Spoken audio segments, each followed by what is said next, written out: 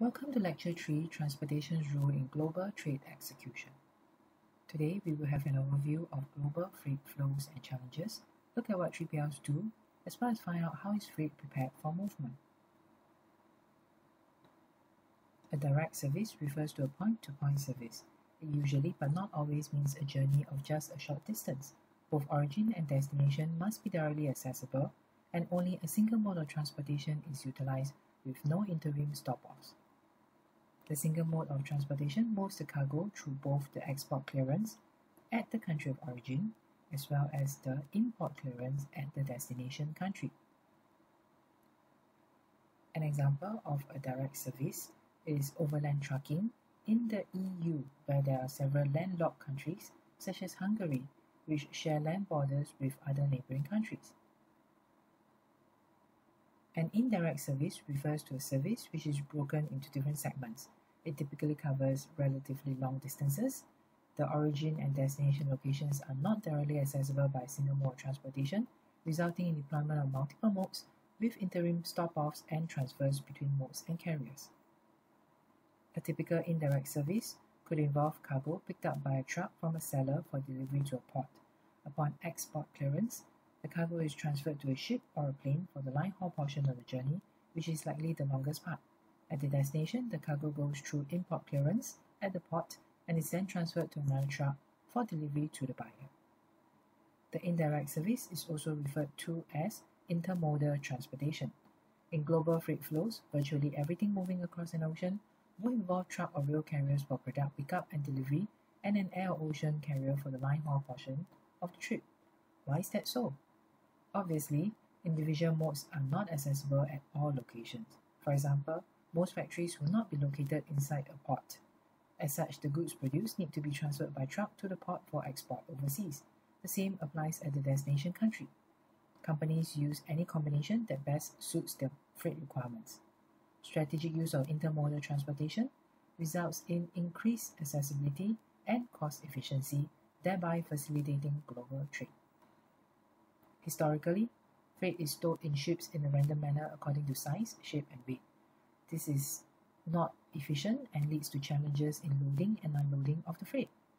The containerized freight concept started developing in late 18th century with the use of non-standard simple wooden boxes mounted on horse-drawn wagons. Modern freight containers are of course mostly made of steel and painted with marine-grade paint. They're extremely strong as they need to withstand strong conditions at sea and be stacked on top of each other while loaded with cargo. Containers come in various standard sizes and designs to suit different freight types. For example, general purpose or GP containers are very commonly used. Refrigerated or reefer containers are for temperature controlled goods. ISO tanks are for gaseous and liquid commodities.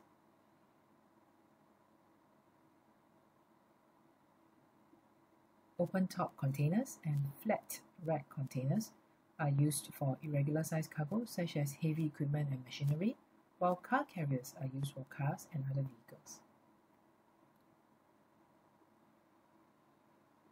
The development of container standards in the 1960s contributed to the growth of containerization. Common dimensional height and width specifications for all seagoing containers made it possible to build standard transportation equipment to readily transport all containers globally. For transfer between different land locations, a container is mounted onto a chassis of the corresponding size. The loaded chassis is attached to a heavy vehicle known as a prime mover, which transports the empty containers to factories and warehouses for loading, as well as full containers from the seaport to the same locations for unloading.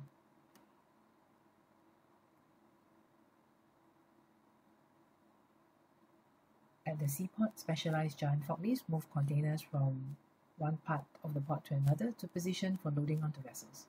Once the vessel has arrived and docked at the port, heavy-duty cranes will lift the containers onto the vessel before it sails off to the next port of call. This entire flow of cargo would not have been possible if cargo did not come in standardized containers, which could be handled seamlessly in ports across the world. Next, let's look at how global freight flows. We know that the majority of freight is flowing from Asia to Europe, but there are various routing alternatives which can be taken. Routing number one is an all-water routing. It starts from Asia,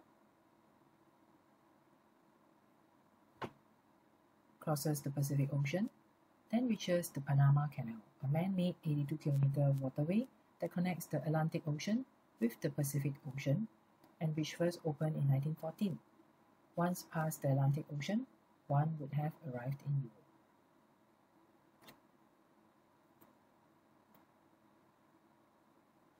Routing number two is a water-land-water routing. It starts from Asia, crosses the Pacific Ocean, and changes mode to cross the American continent over land.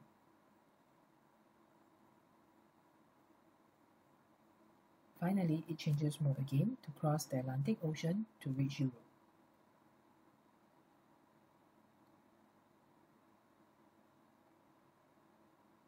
Routing number three is also an all-water routing. It starts from Asia, crosses the Indian Ocean, then reaches the Suez Canal, another man-made waterway in Egypt that connects the Mediterranean Sea to the Red Sea, which first opened in 1869. Once past the Red Sea, one would have arrived in Europe.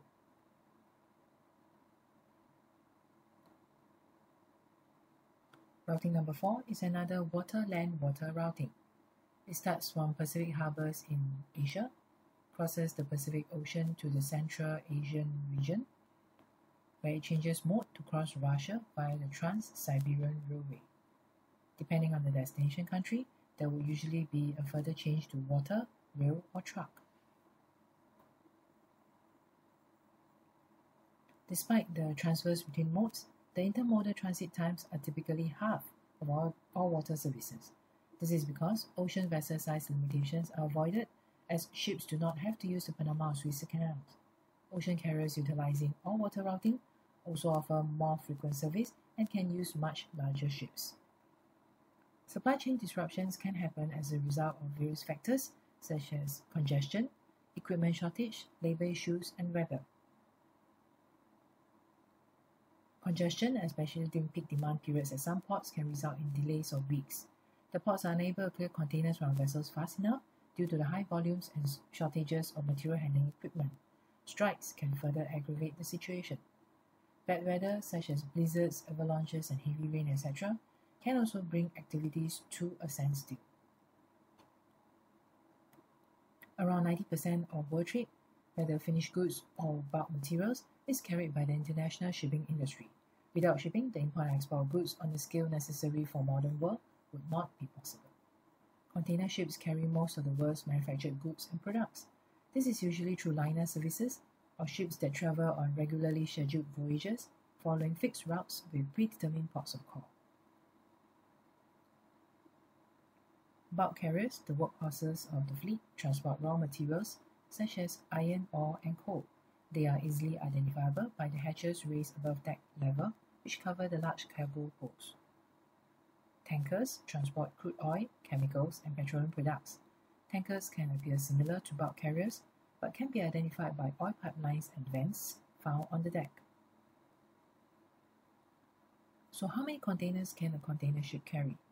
HMM Algeciras, the world's largest container ship, arrived at the port of Hamburg on the 7th of June 2020 on her maiden voyage. This gigantic ship has a loading capacity of 24,000 TEUs. So which are the world's busiest seaports? Singapore comes in at number one, while six of the ports on the top 10 list are from China. This is no surprise as China is the world's top production hub. Air cargo transports merely 1% of world trade by volume. However, it is worth over US 6 trillion and accounts for 35% of world trade by value. Traditionally, customers pay a premium to transport high-value, time-sensitive goods that require superior protection while in transit. What are some examples of air cargo? For example, the US exports 1.61 billion worth of wine. Kenya exports 120,000 tons of cut flowers each year. 62,500 tons of humanitarian aid are delivered by air each year.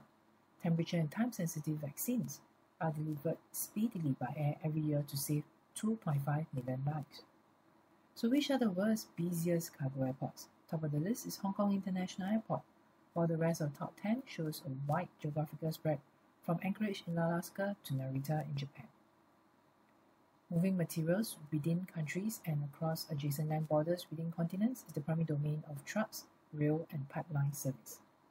Trucking is currently the major player for intra-continental freight flows, especially for America, Europe, India, and China.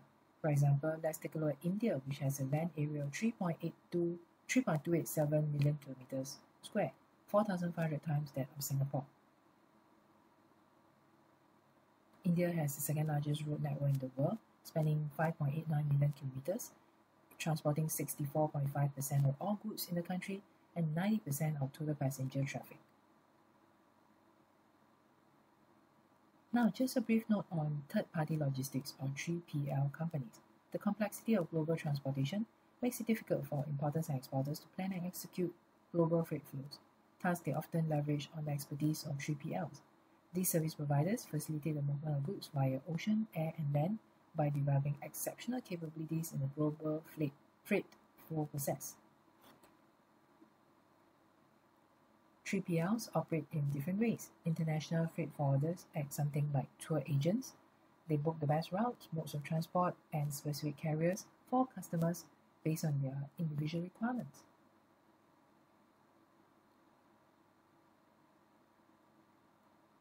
Non-vessel owning common carriers or NVOCC act like Grab Shuttle. They book space on ships regularly at good rates. Then they resell this space to customers for small less than container or LCL shipments, and they are often able to combine multiple customers' cargo into a single load to one common destination. In the final part of today's lecture, we will look at the key considerations when packing freight. Rule number one, sufficient information must be provided to enable freight handlers and receivers to identify the shipment. Rule number two, the packaging of cargo must facilitate proper handling and protect the cargo from damage. Rule number three, all environmental and safety regulations for potentially hazardous materials must be strictly adhered to. Rule number four, all customs regulations of the destination country must be complied with.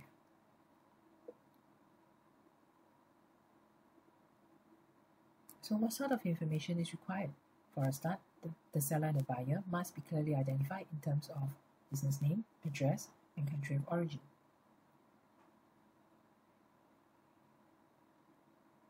The weight and size of the cargo must also be specified in all freight documentation. Cautionary and handling markings, such as keep dry or fragile, has to be indicated using internationally recognized symbols.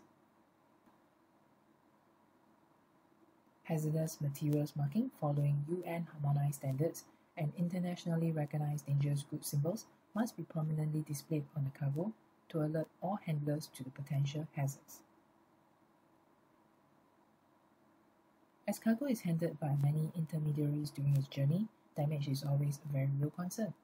Various types of protective packaging can be used to minimize this risk.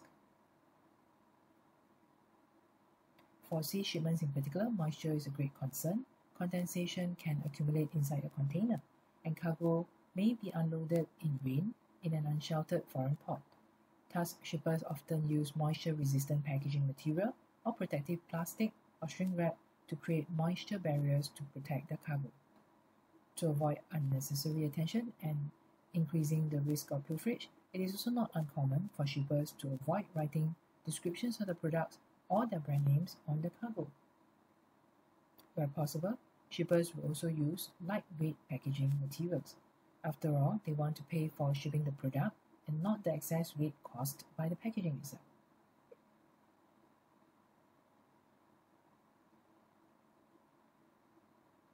Lastly, since shipping charges also take into consideration volume besides the weight, shippers must seek to use appropriate packaging to avoid paying for shipping air. Such a situation of shipping air is also a poor way of packaging goods as it can lead to cargo damage. Finally, we have come to the end of lecture 3 and that's all for now. See you next time.